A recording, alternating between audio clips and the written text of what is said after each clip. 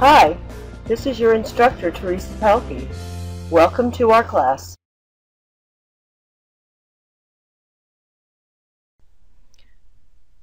We will continue with class 3. A loop is a JavaScript procedure that runs a block of code over and over again. We have two predominant types of loops. One is called a for loop, and a for loop will loop through a block of code a specified number of times based on what that number might be. A while loop, on the other hand, will loop through a block of code while a condition is true. So it will, as long as that condition is true, it will continue to run.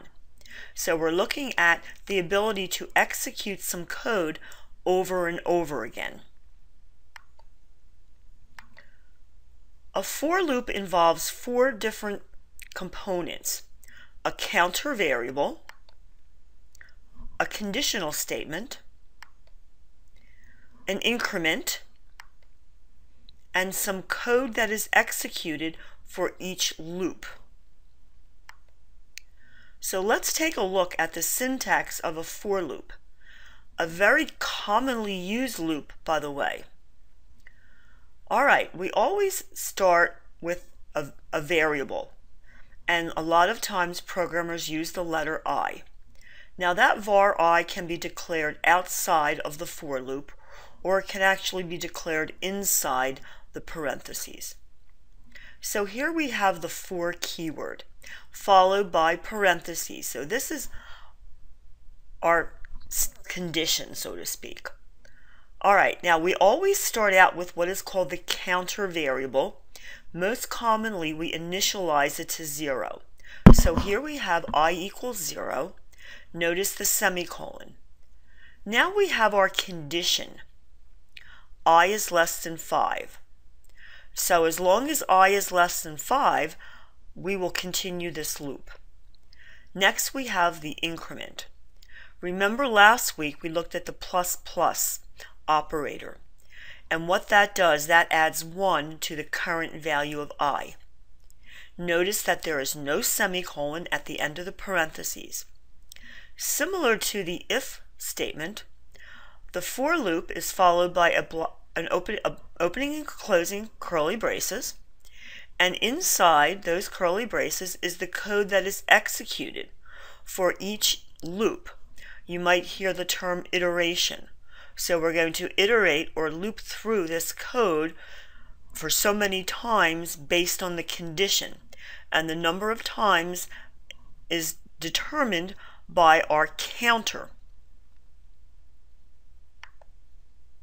All right, so let's take a look at how we might use this.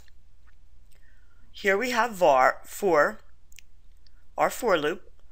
And notice now I have the var inside.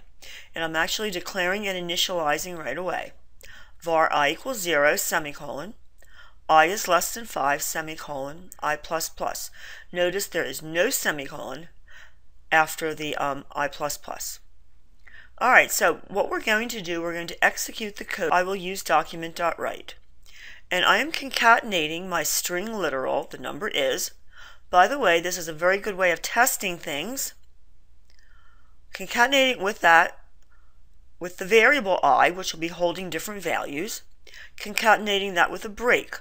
So essentially what we're going to be doing, we're going to be writing to the page the number is 0, 1, 2, 3, 4. We're going to actually have five statements starting at 0, ending with 4. All right, so here's how this loop works. First time around, var i equals 0, and we don't increment it really until the second time. That's just the way it works. All right, so the first time around, i is 0. Is i less than 5? Yes, it is. All right, now let us execute the code in the curly braces. We're going to put a, a statement on the web page. The statement will read the number is 0. All right, second time around. Now, um, what, what is the value of i at this point? Now I, now i has incremented. All right, so technically it's incrementing when, when we leave the, when we start again. All right, now i is 1. Is i less than 5? Yes, it is. All right, so we're going to execute the statement. The statement will say the number is 1. Second time, third time around. Now i is 2. We're going to increment it. All right, the value is 2. Is it still less than 5? Yes, it is. All right, so now we're going to write again. And we'll do that for two more times. Up until the point where the value of i is 4. All right, at that point, when we were to increment that, it would not be less than 5 anymore. So the loop would stop at that point. So it would write the number is 0 all the way up till the number is 4 on the web page. We also have what is called a while loop. A while loop gives us some kind of a conditional statement that must be true at least once.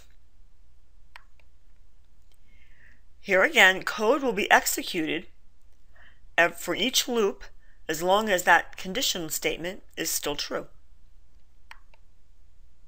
The increment is literally at the bottom. Now, just a word of caution. If the condition statement is always true, then you will never exit the loop. So just watch out for that. It could, in the years ago, it could have crashed your computer. All right, so the while loop evaluates the condition and it continues to loop as long as the condition is true. It will stop when the condition is false. So let's take a look at our code. Here we have var i equals 0 here again, it could have been written inside the parentheses after while. So now we have the while keyword. Inside is our condition, i is less than 5. Here we have the code to be executed, the same code I'm writing I used in the last example. Now here our increment operator is actually located here, i++. Plus So we start out with i being 0, then we increment it to 1. All right, so now we, we go through the loop again. While i is less than 5, it's the value is 1. Yes, the condition is still true. We execute the code again. All right, third time around, i equals 2. Is it still less than 5? Yes, it is. And we'll do that until i is 4. And then when we increment that, it will increment to 5, which is no longer less than 5, and the loop will stop. We also have what is called a do-while loop. And the do-while loop will always run once, even if it's not true. All right, the reason for that is, is the condition is at the bottom of the loop. This is just the way it runs. All right, so let's take a look at our code. var i equals 0. There's the do. And inside our curly braces, we're going to execute the code. All right, so we're starting out with initializing 0, and then we're going to inc increment it after we write, after we execute some code. So as I said earlier, it's always going to run once. So you will always be executing code, at least once. Now it's because the condition's at the bottom, while i is less than 5. And if i is less than 5, in this case it's 1, because we just ran through it, then it will run again.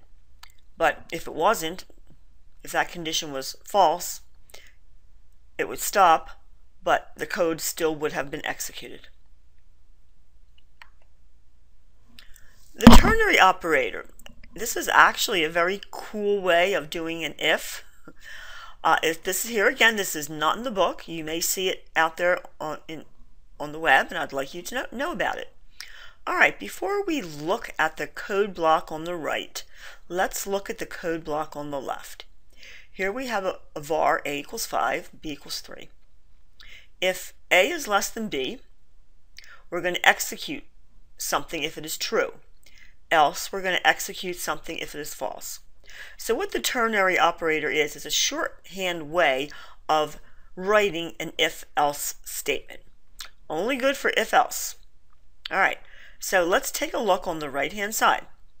Here we have the same var variables, a equals 5, b equals 3. Rather than using the if state word, keyword, we just have a condition, a is less than b. And now we have this question mark, which is called the ternary operator. So, if the condition evaluates to true, the first block of code following the question mark will be executed. If the condition to be evaluated executes the false, the code following the question the colon will be executed. So this is the way the ternary operator works. If it's true, we execute one this one. If it's false, we execute that one. Is not a number. And notice the way it is spelled. That is the case. It is a JavaScript function. I believe the textbook calls it a method. Don't worry. They're pretty much interchangeable. Um, it, used to, it, it is used to test an expression to see if it's a valid number. Um, so we could use that in if condition if we wanted to see if some user input is valid. And based on whether it's valid or not, we might want to give the user a error message tell, telling them they have to have a valid number. All right, so let's just take a look at how we might test that. Here um, I have my alert, and inside the alert I'm testing an expression. Now remember, the alert is wonderful for testing expressions. You also can do this in um, Firebug. All right, so alert is not a number 100. Here again, you have to think about this because we have this concept of double negatives going on. All right, is 100 not a number? False. It is a number, okay? Okay, so if it wasn't a number, then is not a number would be true. But it's not a number, all right? So it's going to return false. All right, and this is an example of a Boolean value being returned. All I'm doing is put it, putting in the expression. It's either going to return true or false. All right, now let's take a look at the second alert statement is not a number, and I have my the, the, the 100 enclosed in quotations. Now remember, whenever we have something in quotations, that is technically a literal or a string. So now, is this a number? No, it's not a number. So it returns true, because is not, not a number tests whether it's true or not. And so the alert will come back true. I just didn't put it on the page. All right, a few more things I'd like to go over. The prompt method of the window object is introduced in this chapter. And here again, this is a very handy little method that allows us to gain user input. And it's always fun to use the prompt just to um, have some input that we can test and learn with. All right, so just like the alert, it is the it is a method of the window object. So we don't have to write window.prompt. We can just say prompt. Now the prompt method takes two parameters. The second parameter is optional. The first parameter, essentially what the prompt is, and you can see it here, it's similar to an alert. It's a little message box that will jump up at you when, it, when JavaScript executes the code, and it has a little text box, and it has some kind of a caption. So because it, it, it will re receive user input, we need some kind of a caption so that we can tell the user what type of input we want. So the first parameter is some kind of a text message. And as you see, I have used please enter your name. Now, the second parameter is kind of like a little placeholder that would be in that text box. Here again, it's optional. All right. Now, the prompt also has two buttons, OK and cancel. If the user types in something and says OK, what the prompt is actually doing is storing a value. So in order to utilize that value, we need to put that value in a variable. So if you notice here I have var the answer. The answer is a variable that is holding the value that is being stored in this prompt. And if I wanted to test to see that it did come back correctly, I can use my friend the alert. Review of the document object model. And I do have examples in the sample code. And for this assignment, we'll be using the document object model. And if you remember, the whole point of this is that we access elements on the page by the value of their ID attribute. JavaScript reads from the top of the page down. So it doesn't know that something is in the body section until it gets there. So we want to hold back the JavaScript code from being executed until the whole document object model has been loaded so that JavaScript knows where these objects are if we're going to be accessing these objects in our script. So we use the window.onload. This is the onload event. And what that essentially is saying, as soon as the page is loaded, we will run this anonymous function. And so here we have what is called the anonymous function. And whatever is inside the opening and closing curly braces will be executed when the page loads. So that is where your JavaScript code will be placed. So here's an example. Let's take a look at what's in the body section first. Here we have an empty P element with an ID equals XYZ. All right, so we are going to write something inside that opening and closing P tag. In order to do that, we need to identify where the P tag is, and we're going to do that by using its ID attribute, XYZ. So we have to wait until the page is loaded so JavaScript knows where ID equals XYZ is. All right, now we have a variable at the top of the page. Now the variable really doesn't have to be inside this function, but it can be. You generally want to put anything referencing the page inside this anonymous function. All right, so here we have var, the reply equals hello world. Just doing this for purposes of demonstration. All right, window.onload equals function. There's our opening cur curly brace and our closing curly brace. Inside, document.getElementById. by ID. This is a method, the getElementById by ID method of the document object. This is part of the DOM. All right, this is not traditional JavaScript. It came in later. All right, getElementById. by ID. What ID? X, Y, Z. All right, so now we have just accessed or, or created a reference to the object. Now we have .inner HTML. .inner HTML is a property. This is a JavaScript property of an object. And what the what the inner HTML property is, it is whatever is inside the opening and closing tag of that object. It can be text and HTML tags, which is why we're using inner HTML, because you can put HTML there also. All right, so equals the reply. What is the reply? That is a variable holding the value hello world.